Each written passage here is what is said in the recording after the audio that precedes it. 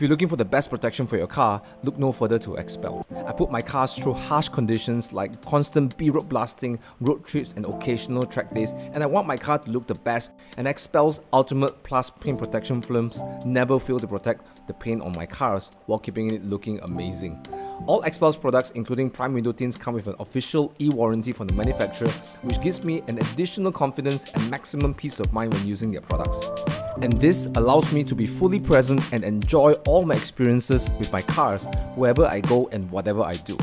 Click the link in the description below to find out more about XPEL's products and their official dealers in Malaysia. Protect everything you love with XPEL. I'm back in Chiang Mai.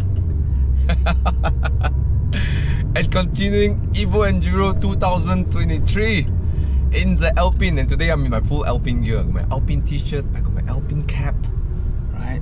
Just missing an Alpine sunglasses. Alright, so everyone is in Chiang Rai, so they head up to the border of Laos and I missed that. Right now I am going straight to the route 118 1186, something like that, right? So it's supposed to be the quote-unquote Nürburgring Ring of Asia according to Alex STMRock, alright? never done this road. The last part I've done it, this one is new. So I'm really looking forward to this drive, okay? So I'm gonna uh, catch up with everybody, uh, hopefully meet them at that route. I got roughly four hours of drive just to get there. So yes, um, so far the Alpine is great and I'm going to get myself to Chiang Rai and I'm going to give you more details about how the Alpine drives. I'm going to go more in detail um, you know, into the nitty gritty of the driving experience of the Alpine. Okay, so more of that when I get to the twisty parts. Okay. Now we're at Route 1148. I finally got it right, and uh, this is a set of twisty roads. So we're now in the beginning part, the appetizer. Okay. So there's a very nice cafe up there. So I'm to try to film as much as I can just to show you the roads. And while doing that, we can talk a little bit about how the Alpine handles. Okay, right, I'm going to start off with uh, the drive modes. There's the comfort mode, and there's the sport mode and track mode. And all three of them wakes up a very different dynamics of the car. First of all, the gearbox. Okay, so in comfort mode, when you do when you play the pedals, there's no kick in it. There's no like punch in it, so it's quite smooth. Now I'm in comfort mode. I'm playing with the pedals, and I downshift. You see, there's no there's no like. It's just like like it just goes up in the rev range. Okay, so you can sort of drive sportily without having the jerkiness and the you know the whole oral experience. And it does help the passenger as well because it's not that you know what's the word for it, cheesecake you know in Cantonese. okay, now if I go into sports mode right now as I'm doing, you can see that hear the sound. It has more of that, and then upshift. There's a brop. So in driving, this, these things are very important for the senses, especially for a sports car. So, and what I like about the sound is not all electronic. You can actually feel when that front happens. It actually it can feel through the chassis of the car. So it feels somewhat mechanical, which is very different than say a Golf giving you that that sound. Yeah, and, and the pops and crackles start showing up in sports mode. The pops and crackle on the outside sounds soft, okay? Not really obvious. But in the car, it's notable, not intrusive. It's really, really clever. And I kind of like this because I don't want to be drawing extra attention because I have this hooligan exhaust noise going around. Maybe I'm this is my preference. And I think Alpine knew that the people who own this car are, you know, seasoned sports cars owner and they want something that's a little bit less intimidating, less, you know, less in your face. So if you like your loud exhaust and you want people to stare at you, um, nothing there's nothing wrong with that. Just if that's what you want, then this may not be the car for you. It's very, it's like a it's like a nice dress watch. Yeah, that's what it is. Okay, and last but not least, track mode. Oh wait, before I go on track mode, it's the also the uh, traction control. Yes. Now we don't have an LSD for the car, so we have an electronic differential and it's very very well tuned so in sports mode sorry in comfort mode it almost allows no slip right when the car starts slipping it intervenes and you know straighten the car.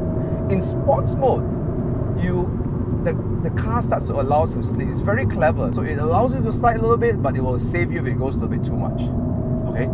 And then when it comes to race mode, sorry, track mode, it allows you for the for more sliding, more angle of slip, uh, which you know you got to be ready to drive that. but probably won't do that on the uh, public roads. All right. Now, when we go to track mode, uh, something changes again. The gear shifts becomes more aggressive, right? And it almost like jabs you in the back, right? When you upshifts and down, and uh, especially in the upshifts. At the same time, it has this really tailoreable, gentle, non-offensive kind of like look, and yet it can be so dynamic. I really love it. Yeah. Throttle response, brake pedal feel, a lot of these things in the car is done so darn well. Okay, onto the chassis of the Alpine. Now, first of all, it's no secret that the car is like 1.1 ton. Okay, and of course the lightness brings about a certain way of how it drives. Right, it's very agile. It's so nimble. It changes direction very very well. Very little inertia around the corner. But aside from the weight, it's also the way it drives. The character of the Alpine is such that it's like a dance partner. You have to work with its character. A lot of cars, you sort of do more of the leading, right? You, you also lead with the Alpine, but you gotta work with the Alpine, you know? So, one notable thing that I realized is the suspension geometry, right? So one of the things that is done on the front axle is actually toe out, pointing outwards. So why is that so? Because when your toe is out, you get to correct the car easier, okay? So how you turn in with a car in tight corners and stuff, even in fast corners, is that you use the rear to rotate the car. So if the car over rotates, you have to correct. So it's almost like you jack the car to get the car to, to, to angle and then you manage that. In that way, you carry a lot of speed into the corner and you can throttle a lot earlier coming out. Okay, so you can make a lot of adjustments mid corner. You want more rotation, you can do it. Right? So let's say you go in the corner and then you realize, well, I don't have enough, you know, angle. You can correct that, okay? Because when it's really tight, you can really adjust your angle. A lot of options mid corner. But if you work with it and if you embrace it, it's not only what makes Alpine special. It puts a big fat smile on your face, okay? And then it comes with the multi-dimensional character of the car. You can drive it fast, right? And smooth you can play with the chassis in the mid corner and you can drive calmly, right? And just cruise. All of it is completely enjoyable. And I love cars like this. They're multifaceted, multi-talented. You won't get bored quickly with this car. Yeah. Some cars you got to really just push to wring out the power, you know, just to have fun with it. Like the M2 Comp, I feel like I have to really push it to like 810 or 710 to really extract the car's character. All right, onto some twisty roads coming up.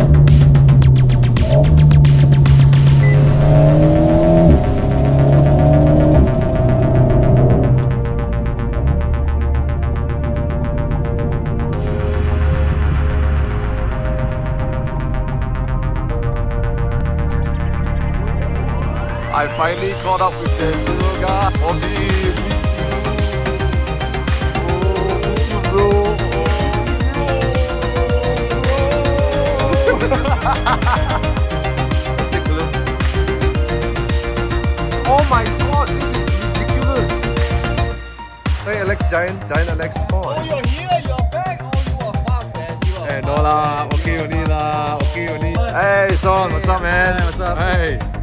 Oh, hey DJ. Guys, this is it, right? You can you can buy your ticket and fly somewhere, but when you drive, you get all these surprises. Yeah, collect all these memories.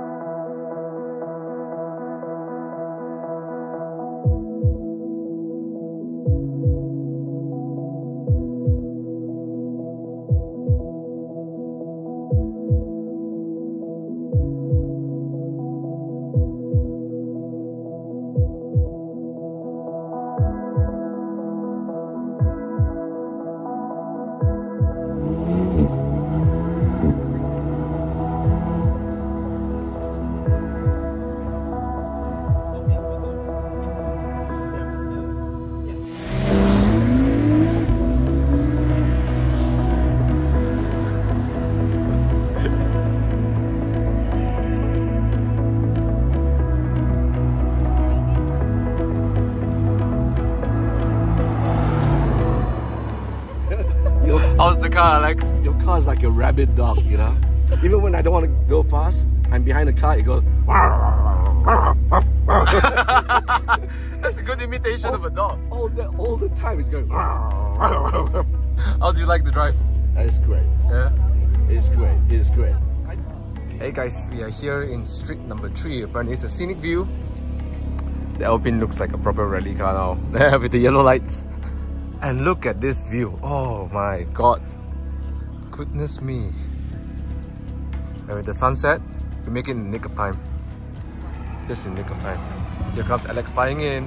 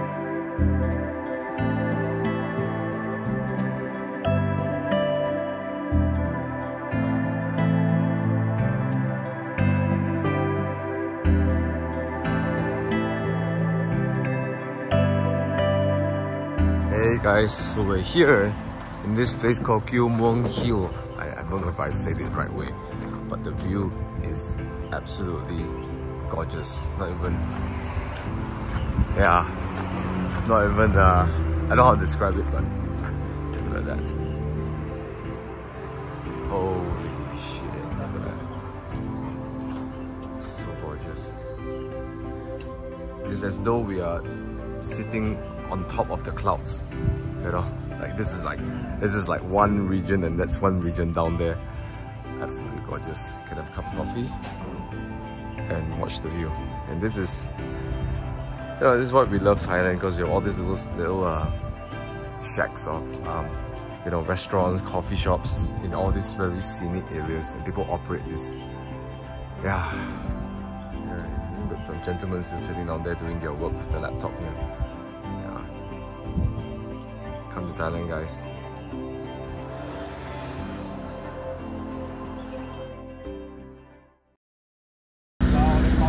Bye bye. And we are on our way.